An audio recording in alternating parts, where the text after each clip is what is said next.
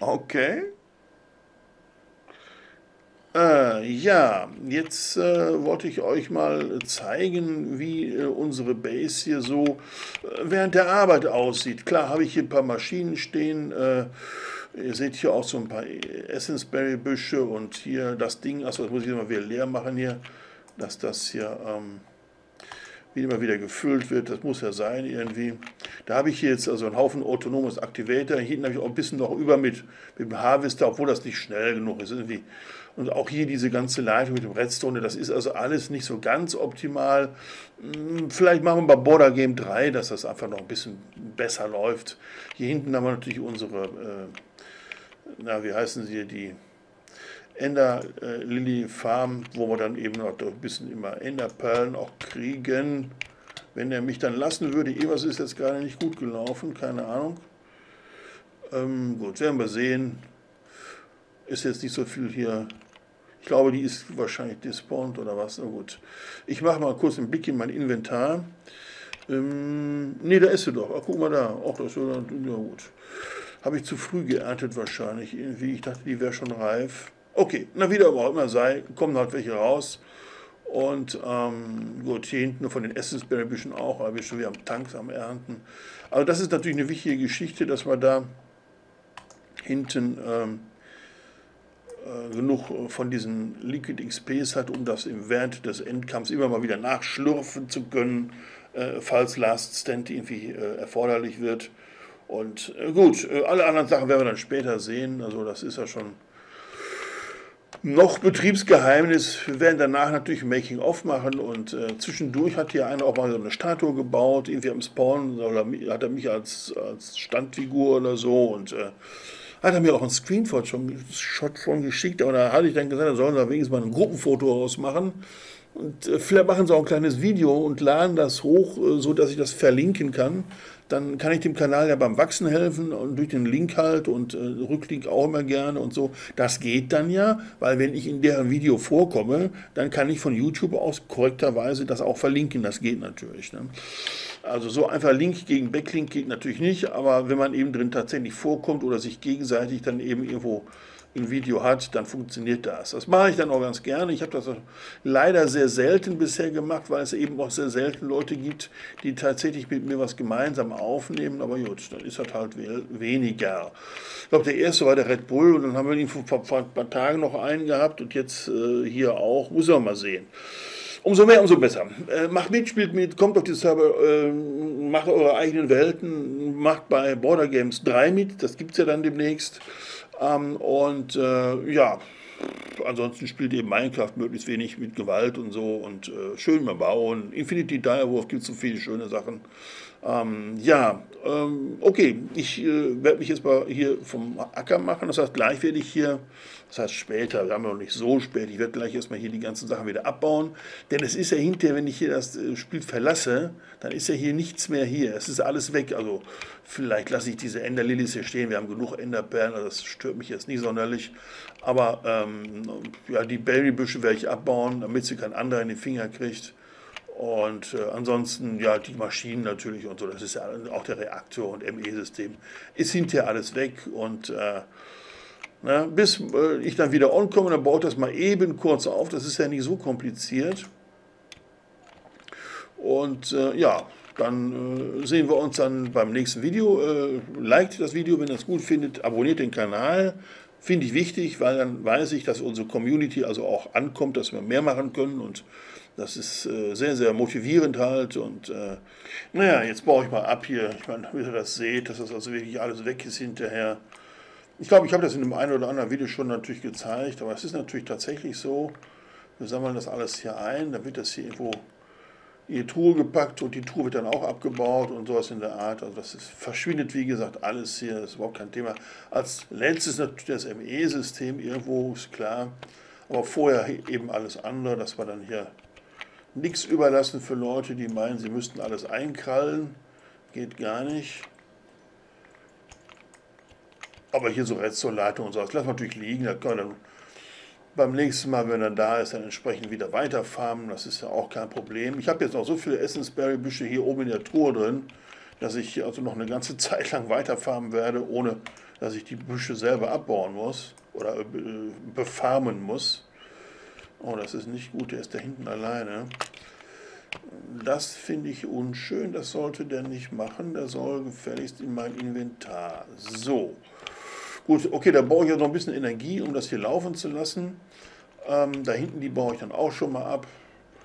Da geht dann also seinen Gang hier, also hier solche, gut, da ist Glas drin und Sand und sowas, also das ist natürlich auch immer ganz wichtig, dass man solche Grundrohstoffe irgendwie hat und äh, entsprechend die Maschinen auch. Gut, ähm, Insoweit äh, ist das jetzt zwar noch nicht ganz abgebaut, aber ihr seht das da dann. So, liebe Leute, hier unten ist es jetzt offiziell. Ähm, ist gerade im Chat gekommen, der Server wurde auf Hard Mode umgestellt, bedeutet Sterben gleich Bann, also äh, ist Schluss. So, damit äh, wäre das auch geklärt. Klärt.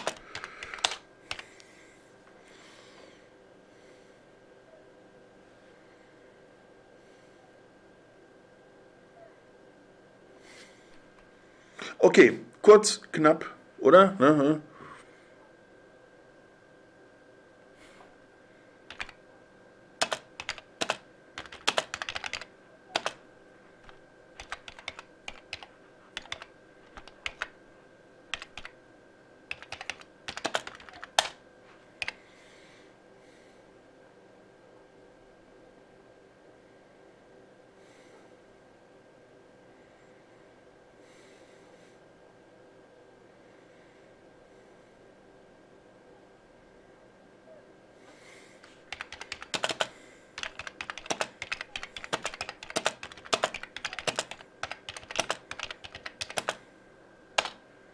Jetzt machen wir mal einen kleinen Ausflug zum Spawn, beziehungsweise zu dem, was davon übrig geblieben ist. Ich habe hier meine Maschinen mal wieder aufgebaut, die können also ganz schön auch ohne mich arbeiten. Da hinten gibt es ein bisschen Plutonium, wenn es dann irgendwann mal fertig ist. Ähm, hier habe ich mir auch noch ein paar Sachen gebaut, äh, die ich eigentlich für wichtig halte. Habe alle meine Sachen nochmal aufgeladen. Ich habe hier hinten meine Tür eingebaut, weil letztens ist hier einfach so ein komischer Enderman-Creeper rumgelaufen. Und das fand ich ja dann nicht so begeisterungsfähig und äh, dann dachte ich mir, jetzt mache ich mal hier einfach das Ding zu und dass es da keine Probleme gibt. Und jetzt gehen wir mal zurück da, wo der Spawn war oder da in der Nähe, sagen wir mal. Denn hier haben ein paar Kollegen irgendwie den Eindruck gehabt, sie müssen einen Friedhof aufmachen. Ja, äh, finde ich eigentlich ganz lustig, so nett designt, keine Frage. Äh, gucken, ob ich hier irgendwie drauf komme, dass wir von oben ein bisschen mehr gucken können. Ne? Also Ihr seht hier so ein paar, äh, was ich, Redstone-Leitungen und was, der Teufel, was alles. Da werde ich natürlich nicht dran gehen, weil ich keine Lust habe zu explodieren oder sonst irgendwie was. Um, ich mache das jetzt mal als Cut hier und bewege mich mal dahin. So, jetzt bin ich mal da reinge... Äh, so, jetzt bin ich mal hier reingehüpft in diesen tollen Friedhof, ne, von da hinten aus hier hin und ähm, angeblich bin ich schon gestorben. Also gut, dann laufe ich jetzt als Geist hier oben. 16.12.2015. Na toll. Aber es gibt auch noch ein paar andere, die schon offenbar gestorben sind. Am 5.1., am 5.1. und nochmal am 5.1. Also die sind alle gestern gestorben. Äh, bedeutet für mich, ähm, wenn ich mal hier die Spielerliste angucke, ich äh, habe es mit zwei Moderatoren zu tun und ansonsten bin ich erstmal hier alleine, beziehungsweise da gibt es wahrscheinlich noch den einen oder anderen, der traut sich vielleicht nicht mehr im Augenblick, weil, äh, keine Ahnung, die wollen eben warten, bis sie am Wochenende dann äh, gekillt werden und nicht jetzt schon sterben. Gut, ähm, so, jetzt habe ich mich hier wieder rausgepottet. Jetzt müssen wir natürlich mal ein bisschen vorsichtig hier langlaufen. Nicht, dass wir durch irgendwelche Sprengfallen laufen oder sowas mit solchen irgendwelchen, keine Ahnung, was sie da auf die Erde geschmissen haben. Da sollte man also immer schon ein bisschen vorsichtig sein. Die haben hier so eine Landebahn gebaut. Guck mal, also, naja, also es, ich, äh, kann man natürlich jetzt mal hier in der, in der Dings zeigen, in der Ansicht hier. Das ist hier wohl so eine Art, oder war mal eine Landebahn oder sowas, keine Ahnung, was sie da gebaut haben. Sieht jedenfalls ganz interessant aus. Äh, gut, also vom Spawn ist jetzt nicht so viel übrig geblieben, außer dass hier alles so ziemlich zerbombt ist, was man zerbomben kann. Wir hatten ja gestern auch so eine Art Statue hier gebaut und äh, das ist jetzt auch alles weg. Jetzt werden wir mal gucken, ob wir hier lebendig rüberlaufen können, oder? Schauen wir mal. Ähm, Wo gehen wir denn mal hin? Die Richtung einfach. Wir gehen mal einfach diese Richtung. Mal gucken, ob wir hier irgendwo unterwegs sterben, will ich nicht hoffen. Immer schön aufpassen, dass wir keine, keine so eine Leine hier unterwegs treffen, die einen in die Luft jagt. Oh, was sieht mein Auge? Guck mal da, das sind hier die Creators wahrscheinlich. Keine Ahnung, wer auch immer das sein soll. Steht jetzt leider nicht dabei, aber ähm, sieht ja ganz nett aus. Das müsste man direkt mal gucken. Das hänge ich vielleicht noch da ein bisschen dran. Die hatten ja gestern so ein Video gemacht, äh, wo sie mich da als Statue stehen hat und jetzt haben sie das da. Ähm, ja. Wir mal gucken, ob man da drauf kommt oder sowas. Vielleicht geht das, ja. Ähm, solange Tag hell ist, kann man ja hier auch noch ein bisschen rumlaufen. Also das ist jetzt kein Problem. Erstmal, wie gesagt, man muss ein bisschen auf solche Sprengfallen aufpassen. Nicht, dass man irgendwie was abbaut oder über, über irgendwas rüberläuft, nur weil die da irgendwie so ein Draht hingelegt haben. Aber irgendwas haben sie da hinten gebaut. Das ist auf jeden Fall mal interessant. Vorsichtig nähern. Was ist das denn? Ach, ein Häuschen. Das ist das ein Hexenhäuschen oder sowas. Naja, gut. Also das werden wir auf gar keinen Fall betreten. Wer weiß, was da alles ist. Immer schön vorsichtig drumherum laufen. Und da haben sie irgendwelche Aussichtsplattformen zum Abschießen oder Abschussbasen oder was. In der Hoffnung, dass sie da einen treffen. Ah ja, genau, da haben sie Patronen, so nach dem Motto, mach doch mal auf. Ganz sauber knicken, ich bin ja nicht von vorgestern. Das Risiko gehe ich nicht ein, solche Sprengfallen habe ich schon selbst genug gebaut. Brauche ich jetzt nicht unbedingt noch deren Advice für. Aber okay, da sind diese Figuren von da hinten. Ja, theoretisch könnte man jetzt hier rauflaufen oder runter irgendwie oder sowas. Also einmal rundherum haben wir es jetzt geschafft. Ja, da sind natürlich Druckplatten. Ist klar, so bekloppt muss man sein. Was haben sie denn hier alles drin? Das sieht ja ganz lustig aus. Aber das werden wir, das, wir werden dem äh, der ganzen Sache widerstehen, außer wir graben uns mal von der Seite drunter. Das könnte man ja auch machen. Das könnte man ja auch mal. Einfach von der Seite mal gucken gehen. Oh, was haben sie? schau an, schau an, was haben sie denn da? Obsidian. Irgendwie, was haben sie hier gebaut? Hier trickreich, wie es aussieht. Ja, ja. Redstone-Schaltung, ja, ja, da wird das ganze Gebiet in die Luft gejagt. Das haben wir schon gerne, da habe ich jetzt nicht unbedingt so den Bock drauf. ist ja ganz lustig gemeint, aber ich glaube irgendwie. Äh, oh, gucken, ob wir hier noch ein bisschen mehr Informationen über das System bekommen.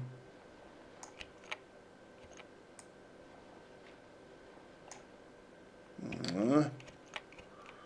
schön vorsichtig, nicht, dass wir jeden Stein abbauen und plötzlich der Stein der Zünder ist. Ne? Oh oh.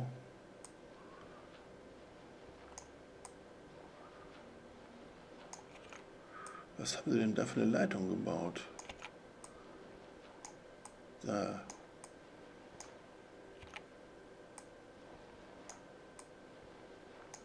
Sieht ja ganz lustig aus. Ups, was haben sie denn da unten? Ein Pisten. Mit einer Fackel noch dahinter, oder was? Na gut, ich meine, Redstone-Schaltung auf Pistenbasis. Ist ein bisschen altmodisch. So was mache ich lieber ordentlich. Aber gut, das ist dann halt so. Ähm, gut, was haben wir hier noch? Mal gucken, ob wir hier noch was kriegen. Informationen über das System.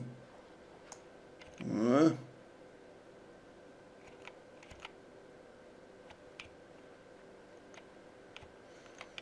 Mal schauen, was denn die Druckplatten so können.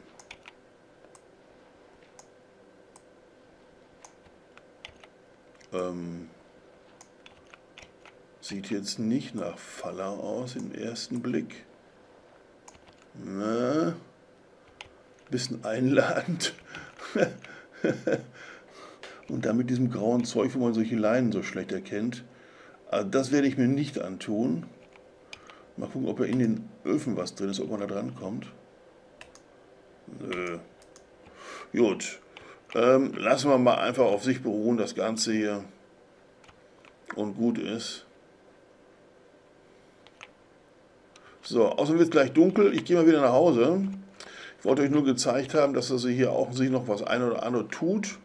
Und äh, ja, ähm, jetzt gucke ich bei mir mal wieder nach, äh, was sich denn da so tut. So, wieder zu Hause, alles noch da, alles überlebt, kein Problem. Ich müsste mal was essen vielleicht, das wäre vielleicht nicht ganz falsch. Okay, hier hat sich jetzt leider noch nicht so viel getan. Der ist fertig, das ist sehr schön. Na, schmeißen wir das mal hier rein, dann hat das auch genug. Jo, äh, soweit erstmal. Äh, kurze Information vom Spawn und äh, ne, alles weitere dann äh, spätestens am Sonntag, wenn sich die letzten dann aus der Ecke trauen. Bis dann, ciao. Also liebe Leute, ich bin jetzt so ein bisschen in der Welt hin und her. Ich erkläre euch später auch den, naja, Trick will ich jetzt nicht sagen, aber ähm, die Methode, mit der ich was gefunden habe. Und das hier hört sich akustisch so an, als wäre da ein Spinnenspawner.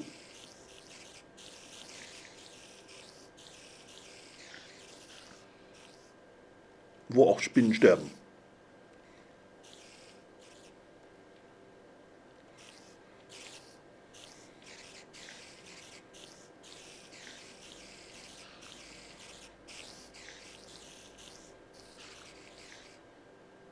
Nicht wahr? Das hört sich so an. Das Problem ist, man muss die Sache natürlich sehr vorsichtig angehen, weil ich keine Lust habe, von irgendwelchen massenweise Spinnen hier gefressen zu werden.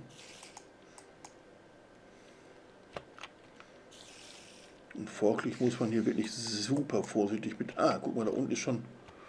Jetzt muss ich immer das Licht woanders hinstellen oder zumindest noch ein zusätzliches haben, damit ich diesen Stein hier abbauen kann, um von hier aus zu gucken. Da hat auf jeden Fall einer etwas zugebaut, wie es aussieht. Ich mag natürlich nicht in solche hässlichen Situationen kommen, dass man nicht weiß, wo man dann landet. Da unten sind Spinnen, habt ihr gesehen? Warum sterben die da? Beziehungsweise warum kommen die nicht hoch?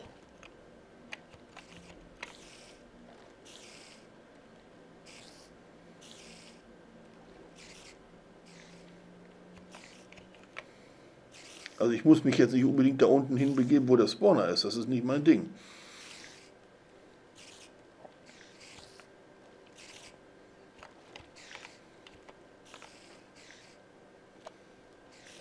Man müsste mal sehen, was hier sonst noch alles gebaut ist. Naja, sieht schon nach, leider doch nach einer etwas natürlicheren äh, Situation aus, weil hier sehr wenig Licht ist. Hm.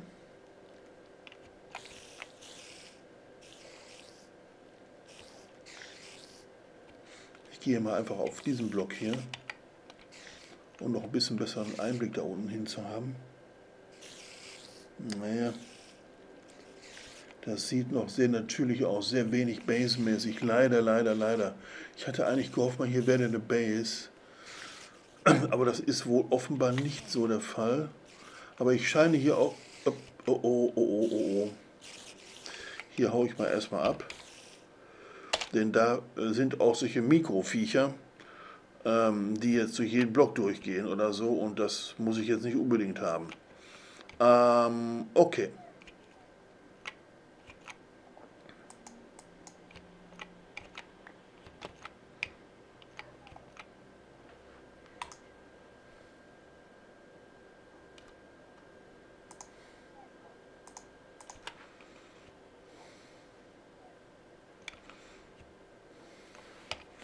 So, mal gucken, ob da noch welche sind.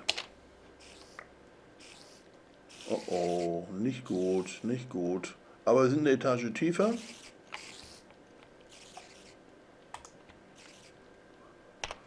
Wollen wir unsere Kampfausrüstung hier klar machen. Auf jeden Fall ist da irgendwie was. Mit Spawner ist klar. Was war das jetzt?